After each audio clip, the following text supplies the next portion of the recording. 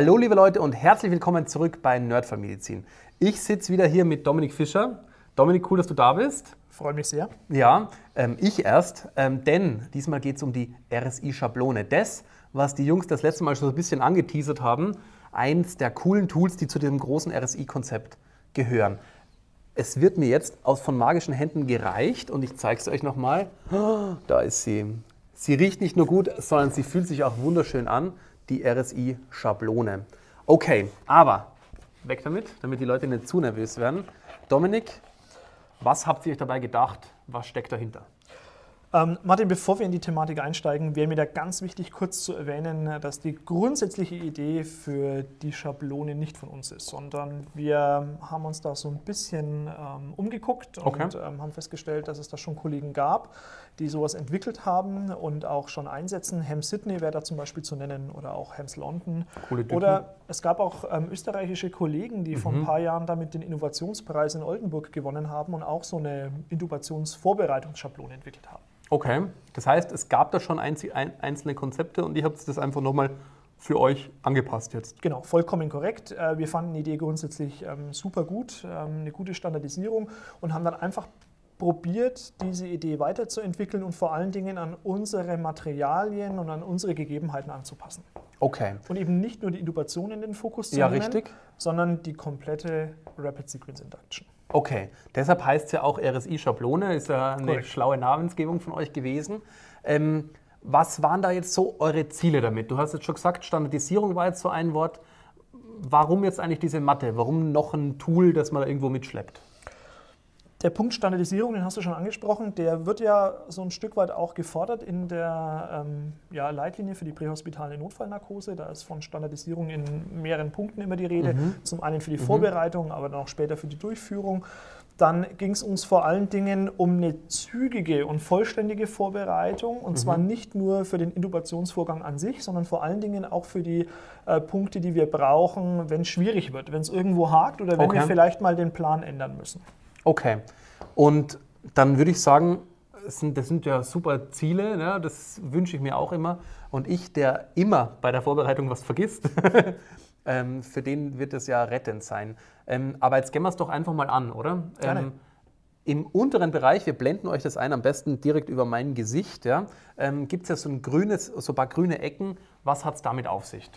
Ja, da geht es tatsächlich um so ein paar Punkte, die wir praktisch ähm, für die Narkosevorbereitung relativ frühzeitig ähm, an den Patienten bringen müssen. Okay. Und da war der allererste und wichtige Punkt die Präoxygenierung.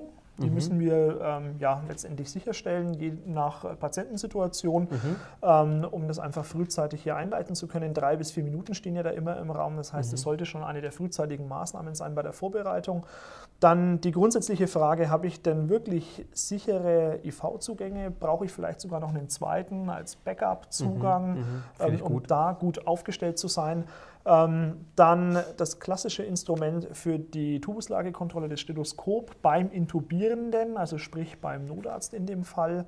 Und dann ähm, der Punkt, der dann für die Narkoseanleitung ja auch ganz essentiell ist, ist einfach ein vernünftiges Monitoring. Okay, ja, klar. Das haben wir da auch entsprechend ähm, dargestellt mit einer vernünftigen Ableitung, die ein gutes Signal bietet. Dann der Plessimographie-Kurve, Mhm, am besten auch mit Sättigungston ähm, entsprechend eingestellt. Und dann der Punkt, der uns da eigentlich am wichtigsten ähm, wäre, wäre die Kapnographie-Kurve, die mit Kapno- eingestellt ja, ist. Kurve, nämlich nicht nur die Genau, Zahl. ne? nicht ja, nur die absolut. Metri, sondern vor allen Dingen auch die Kapnographie. Korrekt. Dann sehe ich da noch, ihr habt ja da das auch cool visuell irgendwie aufgeschlüsselt. Ja. Ähm, und dann noch das, was einer der vielen Punkte, die ich häufig vergesse, nämlich die, ähm, das Intervall bei der NIP-Messung. Ich bin ja genauso einer, der bei den Simulationsfällen da immer drauf reinfällt, ne? man mi- misst zuerst den Druck 160, ne? dann misst man lang nicht, dann misst man nächsten 60. Ja? Also die NIP-Messung mit Intervall finde ich cool, dass die da nochmal draufsteht. Gerade für unser grundsätzliches RSI-Ziel keine Hypotension Ja, ist das natürlich ein ganz, absolut. ganz wichtiger Punkt. Also Absolut. den nicht nur zu messen, sondern später auch mal drauf zu gucken. Genau. Ja, dann der Punkt, der, glaube ich, äh, mit am häufigsten ähm, vergessen wird, ist die vorbereitete Absaugpumpe, die Ja. im Idealfall auch noch mal ganz kurz vorher gecheckt werden sollte, kurz bevor man dann da einsteigt. Mhm. Und da der entscheidende Punkt, wirklich einen dicklumigen Absaugkatheter zu wählen ähm, und den äh, mit geschlossenem Fingerdip und in dem Fall auch mal ohne Verpackung, Ja. damit, wenn die Soße hochläuft, wir da sofort einsteigen können. Man und nicht sofort da an der Verpackung ziehen muss, Genau. weil es gerade so gut läuft. Richtig. Im Rahmen der Intubation sollte das Ganze natürlich dann später auch laufen. Das sind Dinge, die man dann verbal nochmal ansprechen muss. Ja, ja. Ja. Okay. Und das letzte ist da unten ist so ein Beatmungsbeutel mit ziemlich viel Zeug dran. Ähm, was war da euer Konzept? Genau, auch den Punkt haben wir uns ähm, ehrlich gesagt abgeguckt von ähm, Kollegen aus Ham Sydney und London. Die ähm, haben ihren Beatmungsbeutel immer so vorbereitet, dass grundsätzlich die Kapno-Küvette schon angesteckt war, Okay. ein Filter dazwischen kommt, die Gänsegurgel und dann eben die entsprechend benötigte Maske. Hat den eleganten Vorteil, dass man damit wunderbar Beutelmaskenbeatmung durchführen kann. Man hat auch unter der Beutelmaskenbeatmung eine Kapnographiekurve. Super, ja. Einen Punkt dürfen wir natürlich nicht vergessen, das ist die Sauerstoffquelle mit Demantventil oder Reservoir in Mhm. Ja, ja. möglichst ähm, hoher Konzentration. Auch was, was schnell, was man irgendwie Genau. in der Panik schnell vergisst. möglichst Ja. schnell den Sauerstoff hier am Beutel zu haben in hoher Konzentration. Das waren also die Vorbereitungsschritte. Das ist Mhm. jetzt doch gar nicht das Material und das finde ich cool, dass ihr das so mit, mit bedacht habt. Jetzt gehen wir doch mal zum Material. Da sehe ich Laryngoskop und Tubus und noch ein Tubus. Ähm, was, ja, was ist das? Dann letztendlich das ähm, klassische Instrumentarium für die eigentliche Intubation, das heißt Laryngoskop mit entsprechendem Spatel. Für den Erwachsenen wird es ja in der Regel der Dreier-Spatel sein. Mhm.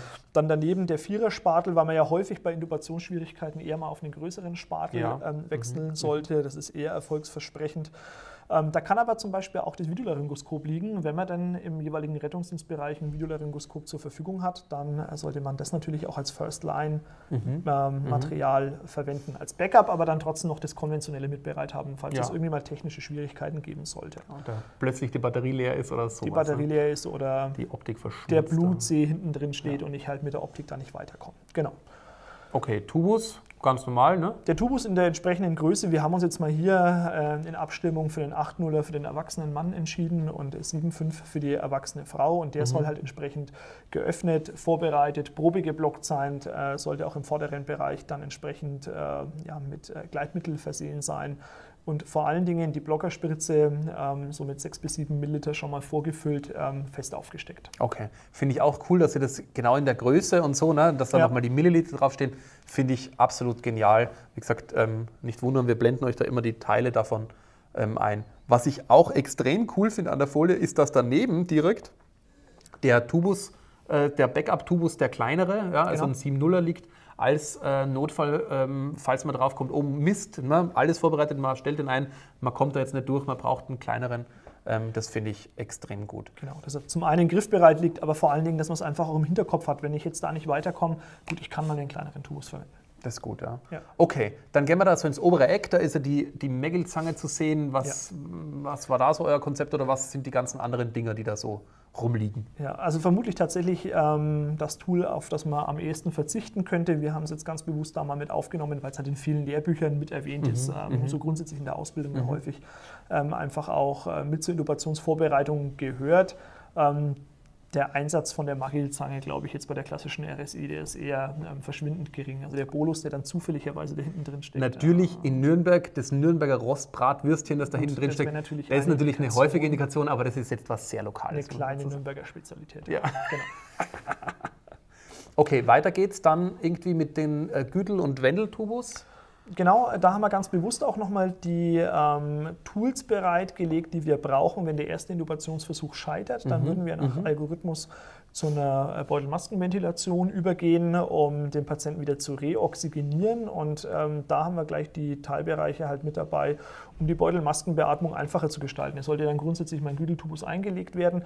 Aber gerade dann, wenn ich vielleicht mal den Güdeltubus nicht platzieren kann oder wenn das vielleicht als Luftbrücke nicht ausreicht, dann eben noch den Wendel äh, Tubus da additiv mit dazu packen kann. Es gibt da durchaus in anderen Ländern Konzepte, dass man grundsätzlich immer bei einer schwierigen Beutelmaskenbeatmung Güdel reinpackt und den entsprechenden Wendeltubus dazu. Okay. Hier noch relativ wenig verbreitet, dafür wird man teilweise auch äh, ziemlich komisch angeguckt, habe ich bemerkt. Ja. und ähm, unsere Erfahrung war so bei der Beutelmaskenbeatmung, wenn es mal richtig schwierig wird und man äh, Probleme mit der Abdichtung hat, dann ähm, tut man sich doch häufig mit einer kleineren Maske äh, leichter. Von daher liegt neben der vermutlich passenden Maske immer noch eine Maskengröße kleiner mit auf der Matte bereit, um da auch gut vorbereitet Okay, zu sein. ah, das finde ich ja gut. Und dann drunter natürlich die Fixierung. Da denke ich, gibt es wahrscheinlich verschiedene. Wir haben jetzt den Thomas Holder bei uns äh, in allen Bereichen. Ja, es gibt Rettungsdienstbereiche, da sind die ziemlich verpönt und äh, teilweise vom ELRD sogar verboten, Echt? weil doch auch äh, teilweise Nachteile.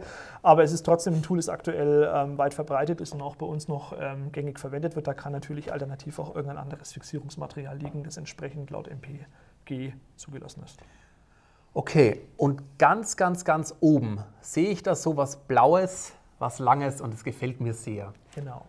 Das hat nichts mit dem Philipp zu tun. Nein, ähm, es ist der Bushi, den haben wir mit draufgepackt. Zum einen, weil wir natürlich am Fahrzeug mitführen, ähm, aktuell noch für den ähm, schwierigen Atemweg, aber es gibt durchaus auch Konzepte, die besagen, man sollte gerade bei einer Notfallintubation den Bushi großzügig verwenden, auch gleich als erstes äh, Angriffsmittel, ähm, weil wohl die Intubationserfolgsrate damit nochmal deutlich steigt. Okay. Ähm, hier liegt er tatsächlich eher nochmal als Backup mit ähm, dabei, falls es schwierig wird. Ich muss dir sagen, persönlich ähm, finde ich den Bushi super, gerade bei so Video-Intubationen. Also gerade wenn du es dir darstellen kannst, denkst, super, jetzt sehe ich es und du kommst mit dem Tubus nicht ums Eck, egal wie man vorbiegt, egal wie man den lagert, man sieht es und man kommt da Ja. nicht dran und mit dem Bushi, zack, ist der Tubus drin. Das ist eine super Sache. Und gerade bei den hyperangulierten Spateln, da braucht man auch einen Genau, da brauchst du auch biegbaren Bushi. Weil da hilft nichts. Genau. Genau. da ist ja die Achse dann wieder eine andere. Okay, ganz oben im Eck ist was Rotes, da steht Plan B. Was war da euer Gedanke? Genau, da war einfach nochmal der Gedanke, dass wir dann den alternativen Atemweg mit in den Fokus nehmen, Mhm. den auch rot mit umrahmen, einfach mit dem Hintergedanken, falls die beiden Intubationsversuche dann tatsächlich fehlgeschlagen sind, ähm, da gleich auf den alternativen Atemweg umsteigen zu können. Okay, Also unsere Rescue-Strategie. das ist jetzt in dem Fall in unserem Bereich die Igelmaske und da habt ihr noch eine Magensonde quasi, falls man jetzt den Genau. bei der ne- äh, moderneren Generation ja diesen äh, Magensondenkanal noch dazu Genau. hat. Wenn wir ne? den Gastralkanal haben, dann sollte man auch bestücken und als Gedächtnisstütze da eben auch gleich nochmal bildlich mit dargestellt. Super. Okay, und als allerletztes, unten im Eck ist so, so ein Algorithmus. Was, was soll das? Ja, ähm, da ging es einfach nochmal darum, kurz und knackig den aktuellen ähm, Algorithmus für den schwierigen Atemweg äh, Okay. darzustellen. Derjenige, der die Innovationsfolie vorbereitet, schaut im Idealfall vielleicht nochmal kurz mit drüber und vergegenwärtigt sich dann nochmal das entsprechende Vorgehen. Aber vor allen Dingen auch, wenn man zum Beispiel die Innovation einfach mal als Übung vorbereitet mit einem Praktikanten, dann kann man da anhand dieses Algorithmus einfach nochmal die wesentlichen Punkte durchgehen. Das ist einfach nochmal so ein kleiner Reminder, den wir damit draufgepackt haben. Den Plan C muss man tatsächlich ähm, verbal ansprechen. Also die Koniotomie haben wir jetzt nicht mehr mit draufgepackt. Die sollte aber natürlich dann entsprechend nochmal verbalisiert werden. Okay, Dominik, zusammengefasst, ein mega cooles Tool, ja, gefällt mir total. Ähm, du hast mir vorher auch schon mal erzählt, in euren Erfahrungen ähm, verkürzt es die Zeit ähm, äh, zur Vorbereitung, es verhindert Fehler, ihr habt irgendwie 100% Kapnographierate, was war mega uns gut ist, wichtig, ja. was in der Realität einfach oft ein Problem ist. Ohne Frage. Ähm, aber das ist ja nur ein Teil von einem größeren Konzept, oder? Genau, also der Gedankengang war da auch ganz entscheidend, dass wir eben nicht nur irgendwelche Tools entwerfen und die dann irgendwo mit draufpacken und die Leute dann praktisch ähm, ähm, hirnlos nach diesem Tool arbeiten, sondern dass man da den geschulten und trainierten Anwender hat, der das Ganze als Gedächtnisstütze verwendet. Und das ist ein komplettes ähm, ja, Konstrukt, das daraus besteht, dass wir Hilfsmittel anbieten, die besprochen und trainiert werden, dass wir das Ganze in ein Schulungskonzept einbetten, ähm, wo man nochmal theoretische Inhalte wiederholt, praktisches Training ähm, und das Ganze dann vor allen Dingen in realitätsgetreuen Szenarien auch mal wirklich äh, realistisch abarbeitet. Finde ich extrem gut und wie schon im letzten Video besprochen, die RSI ist einfach, egal wie super erfahren man ist, ein extrem seltenes und Hochrisikoverfahren. Ja. In wenig Verfahren machen wir so, können wir so viel kaputt machen beim Patienten. Ähm, deshalb ist es genial, was ihr euch da überlegt habt. Das ist echt super, super, super Sache. Ich kann jetzt schon die Leute tippen hören und die hunderten E-Mails, Facebook-Nachrichten, WhatsApp und so weiter ähm, hören und sehen ähm, und mir vorstellen, dass die kommen. Die wollen das alle haben. Wo gibt es diese ähm, RSI-Schablone? Wie kann man die haben? Sag's uns. Bei euch in den Shownotes. Da werden Oh. wir sie verlinken und ähm, da wird sie zum Download bereitstehen und da kann man sie sich ausdrucken und ähm, kannst dann überlegen, was kann ich da vielleicht auch selber übernehmen, was muss ich vielleicht dann an eigenem eigenen Dokument anpassen. Aber die Vorlage kann man sich da mal runterladen und gucken, wie man sie weiterverwendet. Mega gut. Herzlichen Dank dazu an dich und an das ganze Team, das das äh, gestaltet hat. Ähm, wie gesagt, schaut in unsere Shownotes, dort gibt es das alles auf unserer Website. Und ich denke, damit sind wir eigentlich schon am Ende, oder? Hat Spaß gemacht. Äh, danke. Ähm, ich würde sagen, liebe Leute, ihr schreibt uns ähm, alle eure Kommentare, alle eure Fragen. Die Fragen gehen alle sofort weiter an den Dominik und an, seine, an sein Team. Und ähm, ich freue mich, euch das nächste Mal wieder zu sehen und dich das nächste Mal zu sehen und alle anderen zu sehen. Und es war mir eine große Freude. Bis zum nächsten Mal bei Nerdfall Medizin. Ciao. Ciao.